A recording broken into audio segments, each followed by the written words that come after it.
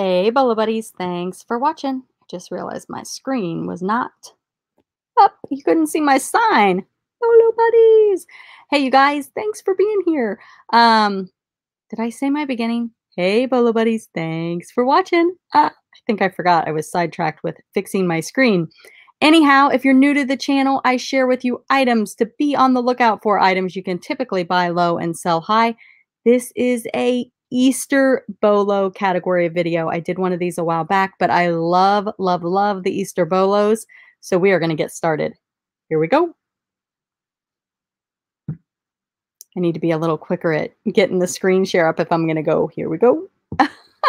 All right, the first bolo we have is paper mache. I will tell you guys, if I find paper mache and it is a good price, I buy it, buy it, buy it. I do really well with paper mache items.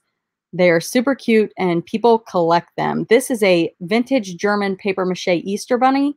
It's a candy container with glass eyes. How cool is that? It is sold for $172.50 with 54 bids and the buyer paid shipping. The next item is these vintage Easter bunny chicks. Um, they've got like little feathers on them. They're made in Japan. I always look for made in Japan ornaments, um, little uh, things like this. I have some uh, vintage, what do you call them? They're like little skiers that kind of look like this, and they're made in Japan and they're Christmas ornaments, and they are super, super cute. I have not sold them yet, but I am waiting on the right buyer. But these are adorable. These sold for $100 with 52 bids. There are 12 of them. Very, very cute lot. I can totally see why this went up to $100. I mean, I wouldn't pay $100, but I would definitely buy this to resell for $100. Very cool. And the buyer paid shipping on that one. The next item are these vintage spun cotton chips. Oh my goodness. Not chips, guys. Chicks, cotton chicks. And they're in the original box. They're also made in Japan. Made in Japan vintage items seem to do really, really well. But these sold for $208 with 51 bids. How cute is that? Very, very cute. The next item is this vintage J. Chein and Company 10 litho. I don't know if it's litho or litho. Litho, litho. I don't know. Either way, um, tomato, tomato. It's a rabbit. It's a rabbit, an Easter rabbit pulling a wagon. There you go. So it's like 10. Super cute. Sold for $133.50 with 50 bids and the buyer paid shipping. The next item is this inflatable Easter bunny in the original packaging. It's 84 inches. If you guys check out my videos, I have a video on inflatable bolo items to be on the lookout for. So you can check that out in my, uh, probably, I think it's under my category videos. It's in that playlist, or you can just search inflatable. The next item are these Annalee uh, dolls, and these are super, super cute. Uh, these kind of range. Some of them go for a lot. Some of them just do okay. They're great bread and butter items. I pick up Annalee whenever I see it. And if you see the paint on the face, they are very, very easy to um, identify if you see them. They all look very similar. Uh, let me go back here. See their faces. So definitely be on the lookout for those. Again, if I pick if I see Annalee, I pick it up if it's in good condition and if I can get it for a good price. The next item are these little Jim Shore Heartland Creek mini egg-shaped Easter chicks. It's a set of two. Very cute. Uh, they sold for $40 with 41 bids and the buyer paid shipping. The next item, Victorian Blue Easter Egg Paper Mache Candy Containers. These are in the shape of an egg. They've got the bunny rabbit on the front. I have sold some of these. They do very well. Um, I think I still have one listed actually, but it looks like this pattern um, sells for a lot. These two eggs sold for $91 with 41 bids and the buyer paid shipping. You know what? I think I have one of these left. I'm I'm not sure if I have it cross posted. So maybe when I finish this video, I will go over and cross post it to Mercari and Etsy maybe even Poshmark. The next item is this Dirk Nowitzki. limited edition Easter Forever collectibles bobblehead. So looks like a basketball player dressed like an Easter bunny standing in an egg that is a bobblehead. There you have it. Sold for $75, 38 bids plus shipping. So, especially with items like this, I'm not sure if this actually has a barcode, but I'm going to guess that it does. You can check the barcode or just type that information into the title and you'll be able to pull up comps. Okay, so this little Precious Moments Beginnings Baby Prayer Pal Bunny Rabbit Plush Prayer Easter. Okay, so this is kind of one of those things where maybe somebody had it and they lost it. I'm not sure, but this little guy went for 70, I should say this little gal cuz she's pink, went for $70 with 38 bids plus shipping. I love the Rushtons. They are so cute that so they have this really uh this face. I don't know if it's plastic or what what it's made out of, but uh super super adorable. Let me see if i can find the the tag. Okay so this one it's written on i don't know what it's written on but it says copyright the rushton company. Maybe the leg? The bottom of the shoe? Oh maybe it's the bottom of the shoe. So this sold for $285 36 bids plus shipping. The next item are these christopher radko easter glass blown ornaments very cute. Christopher Radko is that will help you identify if it's a Radko. See the star on it? So that's one identifying characteristic of the Radkos. They're really, really well made. But these sold for $153 with 34 bids and the buyer paid shipping. The next item is this vintage estate signed Weiss, or I think it's Weiss. Um, it's an Easter Bunny brooch pin and it sold for $68.50 with 32 bids and free shipping. The next item is this Dimensions, the Bunny Patch Needlepoint Craft Kit. So um, these can do really well. I, I always pick up um, cross-stitch kits when I see them if they are priced reasonably. Uh, they range. If you can find the Dimensions Gold, I think it's gold.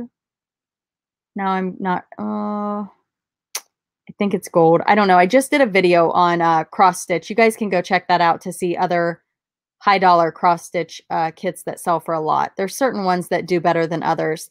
This one sold for $51, 31 bids, and the buyer paid shipping.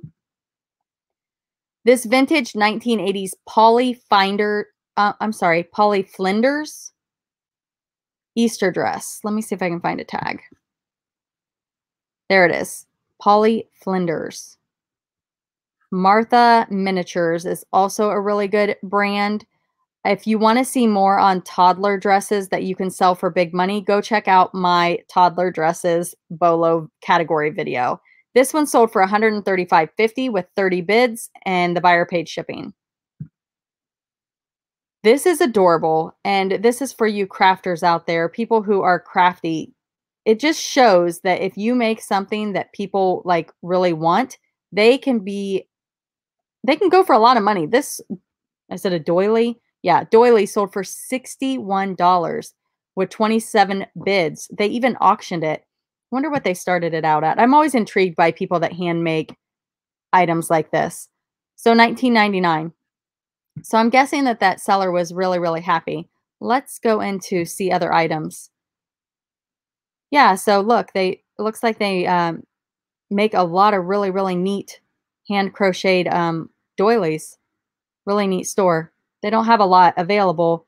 And I wonder how much time that takes. I always like think, man, oh man, the amount of time that it takes to put something like that together. So really cool. That's their store if anyone's interested. The next item is these OshKosh B'gosh Easter Bunny Rabbit Vest Back Overall Denim Bibs. $48 these sold for plus shipping. Okay, so OshKosh B'gosh, some of them can go for over a $100. I also have a video on this. I'm starting to get to the point where um, I'm doing a lot of category videos to help you guys learn about certain um, like categories. So this would be OshKosh B'gosh items that sell for big money so that you guys know what to look for when you're sourcing for these items. So definitely check out that video also. This is a Peggy Karr tray. It's an Easter egg pattern. It's retired and that's what it looks like. Comes in the box. It sold for $120.03 with 25 bids. This is a brand I've never heard of. I've never seen anything like it. So um, I want to see how many unique bidders it had. Five unique bidders, and they started it at $25. So, and the winning, you know, the top two bidders have quite a bit of feedback. So, you know, sometimes when you see zero feedback winner, you know, it draws some flags, but that's why I like to look at the actual bid history. All right, Pez. I also have a category video on Pez dispensers to look for and what makes certain ones collectible and whatnot. If you guys are interested in that, you can go check out that video. But this Pez dispenser is from the 1950s, made in Austria, and it has no feet, and it's a bunny, and it sold for $357 with 24 bids, and the buyer paid shipping. The next item are these lot of three 20th anniversary Easter Care Bears, new with tags, sold for $103 with 24 bids plus shipping. All right, these are a pair of rare Union Don Featherstone Easter Mother Hen and Chicks blow molds from 1996. These little guys sold for $127.50 with 23 bids and the buyer paid shipping. Always, always, always look for blow molds. Um, look them up, check comps, but typically blow mold items do well. Even the smaller ones and the big outdoor ones do well also. So this is really, really cute. It's vintage Easter spell out Micah Birds band musicians collectible chicks with box. How cute is that? People collect this stuff. They love it, all this vintage stuff. So definitely be on the lookout. Uh, great. You can pick these items up at thrift stores, um, estate sales, garage sales. A lot of people don't know that there's a lot of value in these things.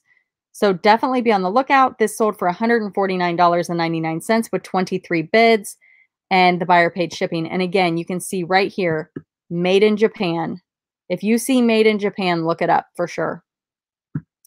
The next item is this bunny rabbit oil painting. It says original by CES Animal Wildlife Pet Easter. So must be a particular artist, this CES. But this sold for $107.50 22 bids and the buyer paid shipping. The next item are these little Knickerbocker vintage hard plastic male and female Easter bunnies. I'm not sure if those are blow mold or not. I they look like they might be. So that would have been a good keyword if they are. But um, Knickerbocker's collectible also, but these sold for $75, 22 bids, and the buyer paid shipping.